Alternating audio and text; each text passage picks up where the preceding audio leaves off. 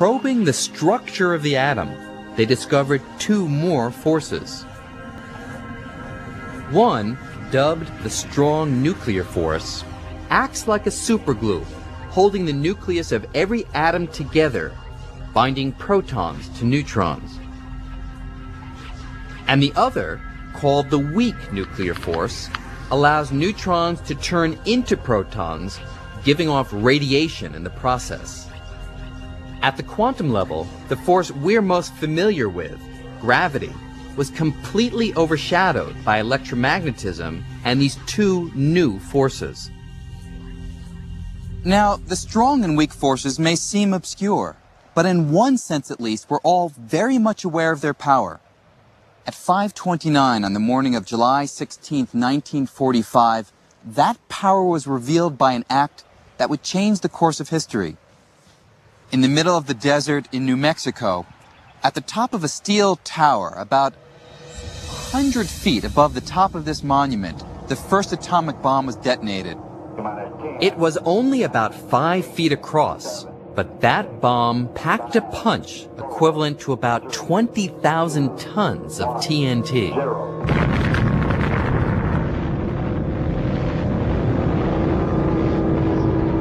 With that powerful explosion, scientists unleashed the strong nuclear force, the force that keeps neutrons and protons tightly glued together inside the nucleus of an atom.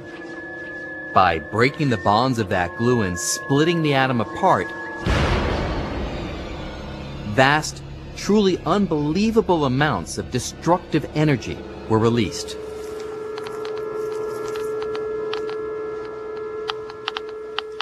We can still detect remnants of that explosion through the other nuclear force, the weak nuclear force, because it's responsible for radioactivity. And today, more than 50 years later, the radiation levels around here are still about 10 times higher than normal. So, although in comparison to electromagnetism and gravity, the nuclear forces act over very small scales, their impact on everyday life is every bit as profound. But what about gravity? Einstein's general relativity.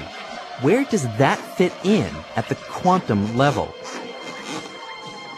Quantum mechanics tells us how all of nature's forces work in the microscopic realm except for the force of gravity. Absolutely no one could figure out how gravity operates when you get down to the size of atoms and subatomic particles. That is, no one could figure out how to put general relativity and quantum mechanics together into one package. For decades, every attempt to describe the force of gravity in the same language as the other forces, the language of quantum mechanics, has met with disaster. You try to put those two pieces of mathematics together, they do not coexist peacefully. You get answers that the probabilities of the event you're looking at are infinite. Nonsense. It's not profound. It's just nonsense. It's very ironic because it was the first force to actually be understood in some decent quantitative way, but uh, but but it still remains um, uh, split off and very different from from from from the other ones. The laws of nature are supposed to apply everywhere. So if Einstein's laws are supposed to apply everywhere, and the laws of quantum mechanics are supposed to apply everywhere, well, you can't have two separate everywheres.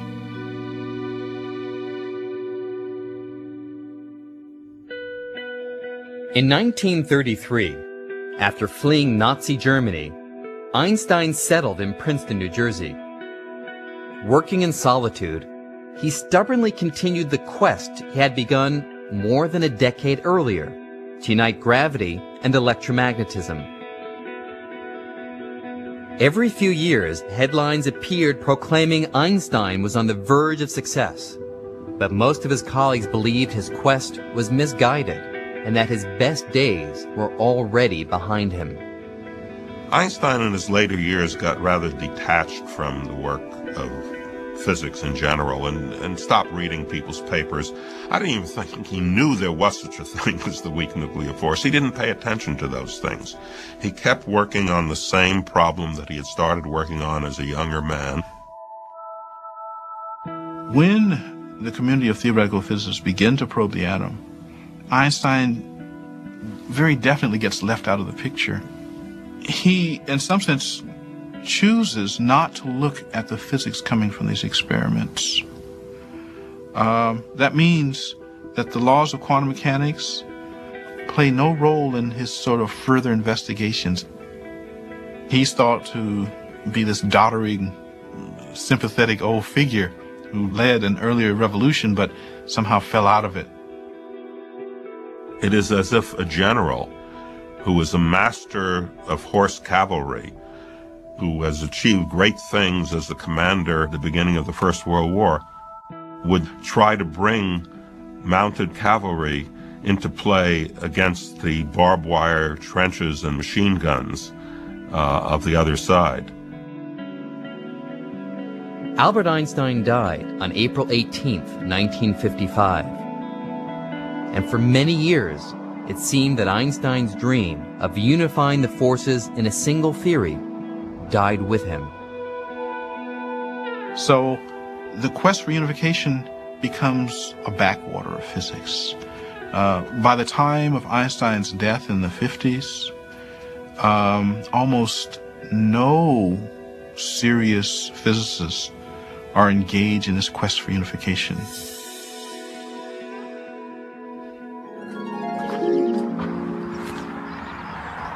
In the years since, physics split into two separate camps. One that uses general relativity to study big and heavy objects, things like stars, galaxies, and the universe as a whole. And another that uses quantum mechanics to study the tiniest of objects like atoms and particles. This has kind of been like having two families that just cannot get along and never talk to each other, living under the same roof.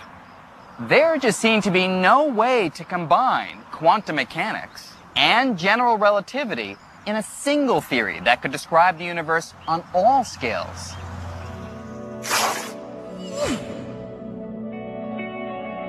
Now, in spite of this, we've made tremendous progress in understanding the universe.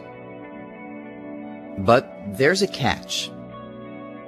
There are strange realms of the cosmos that will never be fully understood until we find a unified theory. And nowhere is this more evident than in the depths of a black hole. A German astronomer named Karl Schwarzschild first proposed what we now call black holes in 1916. While stationed on the front lines in World War I, he solved the equations of Einstein's general relativity in a new and puzzling way. Between calculations of artillery trajectories, Schwarzschild figured out that an enormous amount of mass, like that of a very dense star, concentrated in a small area, would warp the fabric of space-time so severely that nothing not even light could escape its gravitational pull. For decades, physicists were skeptical that Schwarzschild's calculations were anything more than theory. But today, satellite telescopes probing deep into space are discovering regions with enormous gravitational pull that most scientists believe are black holes.